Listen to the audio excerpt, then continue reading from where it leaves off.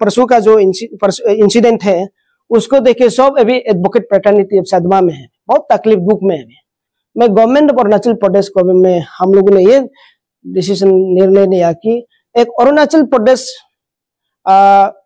advocate protection act एक पास करना चाहिए। People of Arunachal Pradesh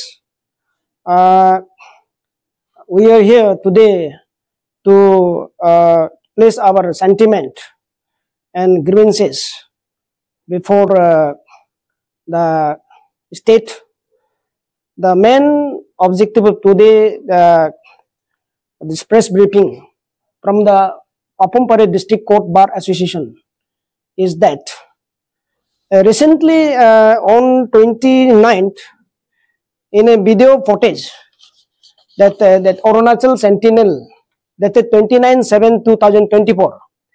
A team Anya stopped the entry of Rakesh Pandey, advocate into IMC office Chimpu. So this was viral in the news and various WhatsApp group and, uh, and other channel. So uh, yesterday on 30th, we received a representation from one that advocate Tar Poha who appeared on behalf of Mr. Rakesh Pandey before the IMC office Chimpu. So what happened on that day, uh, advocate was on duty. He was appointed. See, when case is there, advocate is being appointed by the party to represent on behalf of that person. So what happened on that particular day, on 29, Mr. Tarpo was appointed and he uh, uh, he went to the IMC office and during his on duty, then what happened? A team of Anya activists, our younger, they are our younger only, they stopped him and they have not allowed him to perform his duty. And he was mishandled and uh, advocate was threatened and uh, uh, to face a dire consequences. So by seeing the video footage, we really upset. We are really uh, feel very sad being a legal paternity of the state. And we being a custodian of the law, we interpret the law. We used to uh, acute those convicted persons also being acute by the submission and representation by the advocate. But what happened without advocate? Advocate नहीं होगा तो आपका case को कौन present करेगा? ये सवाल है आज। बहुत बड़ा समस्या अभी हमारे राज्य में ये इश्यू आ गया। ये सिर्फ़ बल्कि नहीं, पहले भी ऐसा एडवोकेट के ऊपर में उन्होंने अत्याचार किया। Example there recent past two three years back five years back six seven years back भी एडवोकेट का ऊपर में हमेशा ऐसा होता रहा।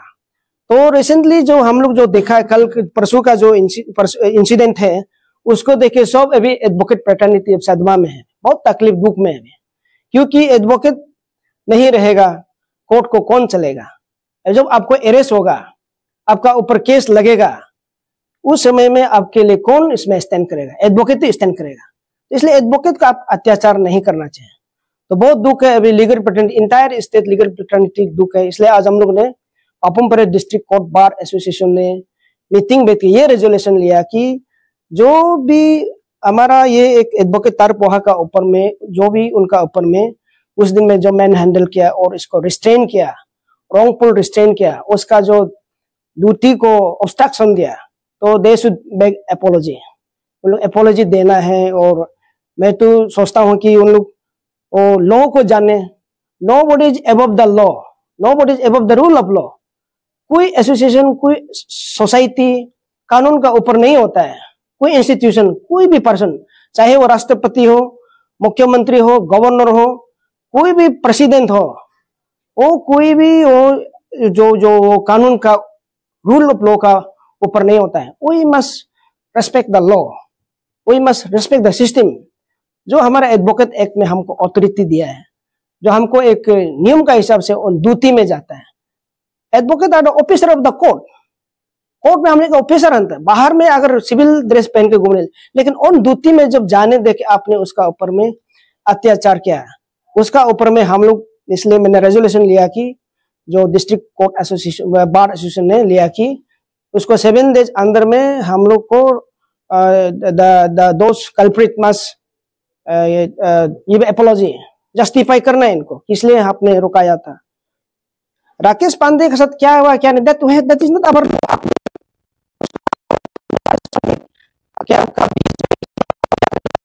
बात लेकिन एडवोकेट को आपने उसको हाथ छुया। वो, सरासर गलत है। It is really the against the the against the law against the rule of law इसलिए उसका ऊपर में हम लोग ने ये लिया कि सेवन डेज़ अंदर में वो जस्टिफाई करना है कि किस लिए आपने मैन हैंडल किया था। और ट्रीटनिंग दिया था। ट्रीटनिंग किया था। तो इसलिए इसका साथ ही साथ मैं गवर्नमेंट ऑफ़ अरुणाचल प्रदेश को में हम लोगों ने ये डिसीज़न निर्णय लिया कि एक Arunachal Pradesh advocate protection act एक पास करना चाहिए। एक बिल पास करना है कि एडवोकेट को एक प्रोटेक्शन देना है। एडवोकेट को आप मारता है पीता है डॉक्टर को मारता है पीता है तो कौन बीमार होने से डॉक्टर तो ट्रीटमेंट देगा? आपका ऊपर केस मर्डर चार्जेस होगा चोरी का डकैती का रेप का चार्ज होगा तो एडवोकेट तो आपको बचाएगा ना। तो एडवोकेट को आप मारता है पीता है। तो ऐसा होने से आपके लिए कौन केस लड़ देगा? Then there will lawless there will lawless state तो कानून नहीं होगा तो स्टेट का तो लॉलेस हो जाएगा तो तब तो तो इनलेस होगा ना, मारपीट जो। There system which we have to be respected इसलिए जो भी किया वी कंडेम देम जो भी एडवोकेट का ऊपर में हाथ हाथ उठाया उनको रुकाया, उनको थ्रेटनिंग किया, उनको धमकी दिया, उसको हम लोग कंडम देता है। We condemn totally condemn them और हम लोग उसको सरासर गलत मानता है। और such people has no place in a civilize society उसके लिए कोई जगह नहीं होता है, जो रेस्पेक्ट नहीं करता है कानून को, जो सिस्टम को रेस्पेक्ट नहीं करता है। उसके लिए कोई जगह नहीं है। Thank you very much